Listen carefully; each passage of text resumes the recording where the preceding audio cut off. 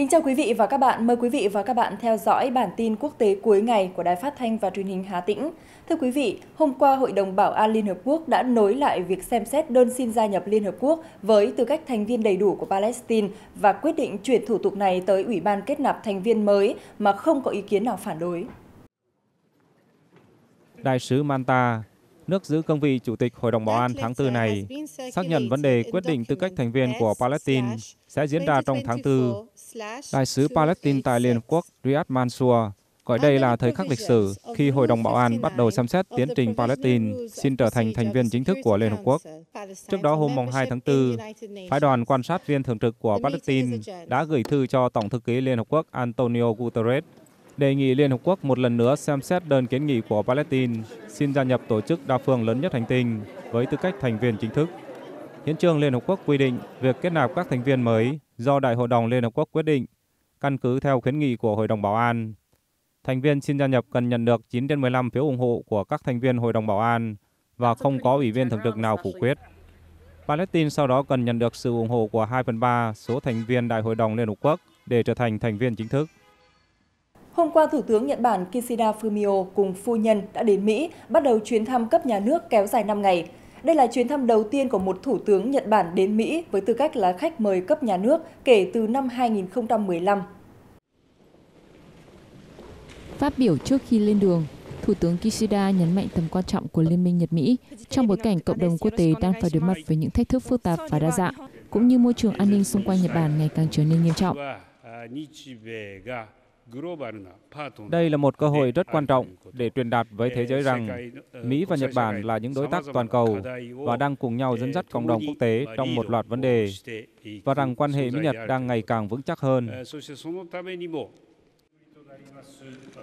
Về hội nghị thượng đỉnh ba bên Mỹ-Nhật-Philippines, Thủ tướng Kishida tái khẳng định hợp tác giữa ba nước có ý nghĩa vô cùng quan trọng trong duy trì hòa bình, ổn định ở khu vực Ấn Độ Dương-Thái Bình Dương, cũng như duy trì một trật tự quốc tế tự do và rộng mở dựa trên luật lệ.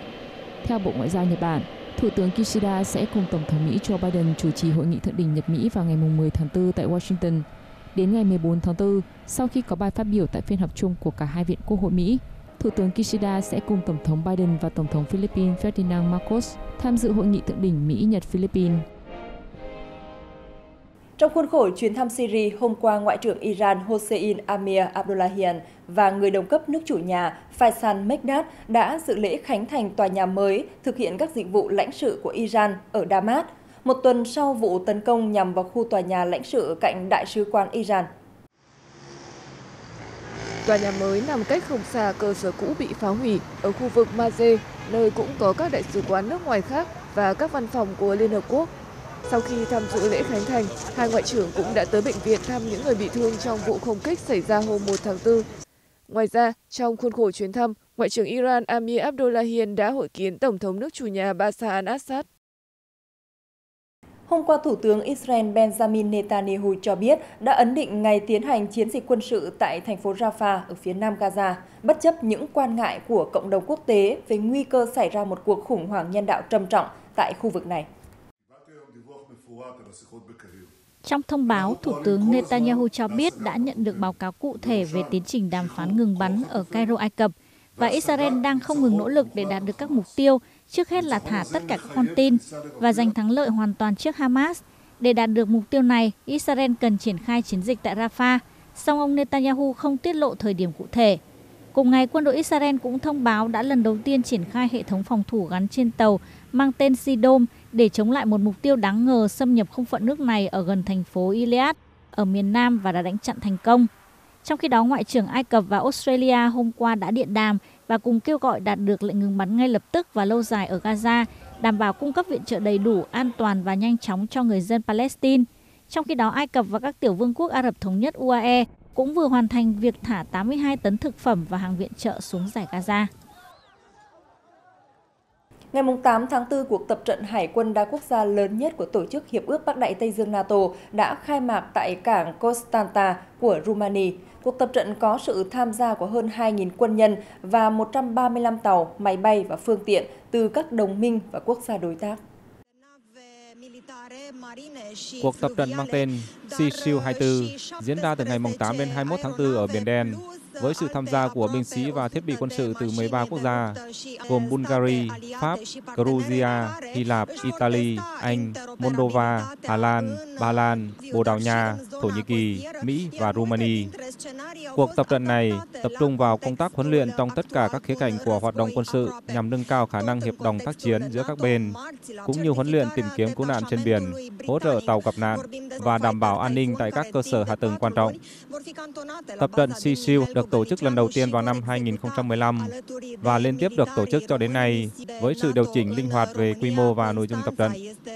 Trước đó, Steadfast Defender, một cuộc tập trận lớn nhất của NATO trong nhiều thập kỷ, cũng đã bắt đầu từ ngày 24 tháng 1 và sẽ kéo dài đến cuối mùa xuân năm nay.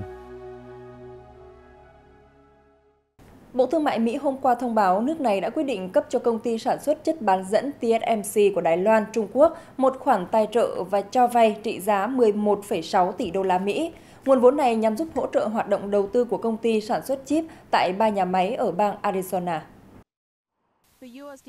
Theo thỏa thuận sơ bộ, chính phủ Mỹ sẽ tài trợ 6,6 tỷ đô la Mỹ và cho vay khoảng 5 tỷ đô la Mỹ trong khuôn khổ đạo luật chip và khoa học để hỗ trợ khoản đầu tư hơn 65 tỷ đô la Mỹ của TSMC vào ba nhà máy chế tạo tiên tiến nhất đặt tại thành phố Phoenix của bang Arizona. Theo thỏa thuận không ràng buộc, TSMC cam kết xây dựng thêm một nhà máy ở bang này.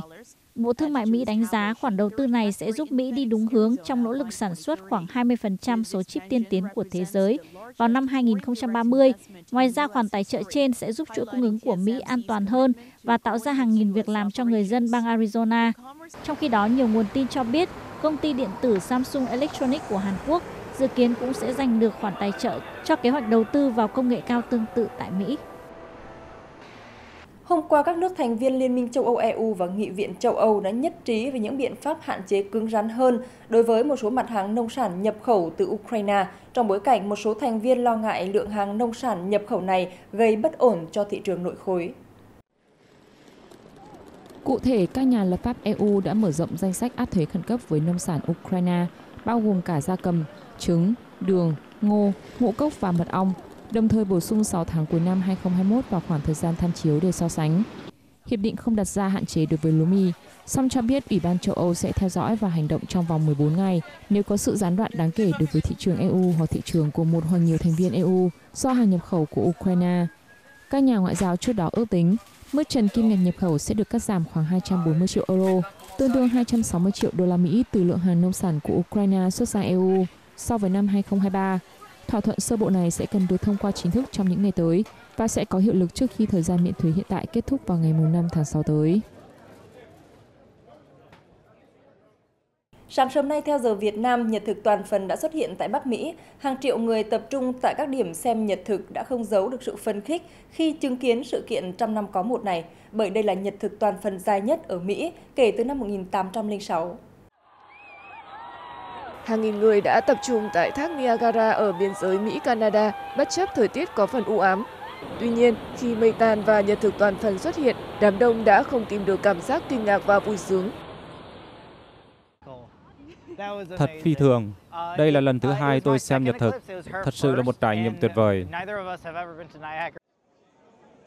Tại thành phố Arlington, bang Texas, nhật thực toàn phần kéo dài hơn 3 phút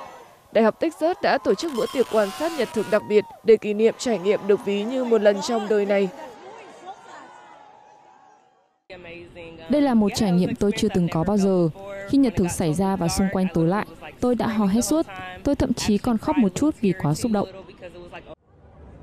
Tại quảng trường thời đại ở New York, người dân đã chứng kiến nhật thực đạt cực đại 89% lúc 3 giờ 25 chiều theo giờ địa phương. Tại Canada, người dân tại nhiều nơi cũng không tìm được những tiếng reo hò khi nhật thực xuất hiện. Nhật thực toàn phần lần này xuất hiện ở một số khu vực của Mexico, 15 bang của Mỹ và phía đông Canada.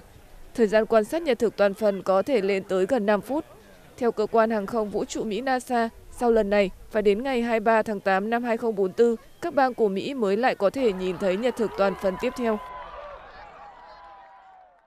Quý vị và các bạn thân mến, bản tin quốc tế cuối ngày của Đài Phát thanh và Truyền hình Hà Tĩnh xin được khép lại tại đây. Cảm ơn sự quan tâm theo dõi của quý vị và các bạn. Xin kính chào tạm biệt.